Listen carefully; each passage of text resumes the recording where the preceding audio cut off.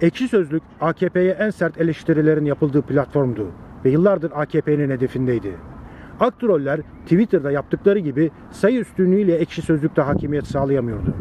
Çünkü Ekşi Sözlük'te yazar olmak hem 2-3 yıl sürebiliyor hem de çeşitli konularda özgün tanımlar ve yorumlar yazmayı gerektiriyor. Aktrollerde ise beyin olmadığından bu şartları sağlayıp yazar olamıyorlardı.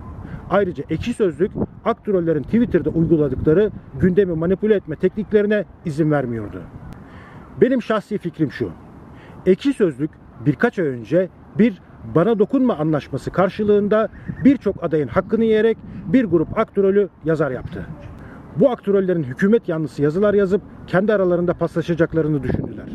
Fakat ekşi sözlükteki aktroller tam tersini yapıp hükümetin aleyhinde yazılar yazmaya başladı.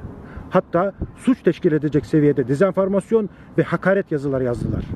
Böylece ekşi sözlüğü kapattıracak gerekçeleri sağladılar. Yani ekşi sözlük kendi yazarları yüzünden değil, içeri sızan aktroller yüzünden kapandı. Şunu unutmayın.